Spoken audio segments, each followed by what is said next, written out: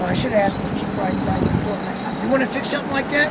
Have them do it three or four times, right away. Well, let's keep going that way a little bit. Maybe, maybe we'll see someone else.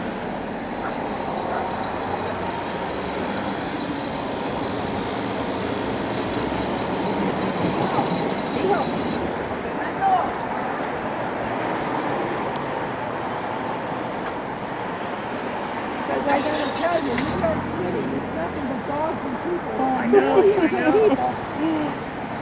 And you said all the dogs are good there, so well behaved, it's frightening, yeah.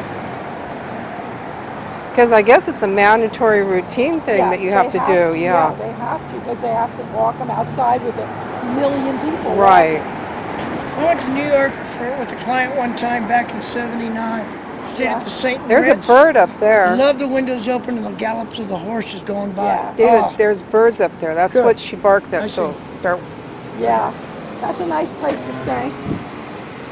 I would like to go there once before I die, just to. Well, you. Check it out It's not that yeah. far. It's only a four-hour plane. Tell her she can die now. She doesn't have to wait. No, when our when our last child is out of the house, I think that's when we'll. Then you should travel. Yes, How old is he? he's 15, Oh, so we got four more years, oh boy.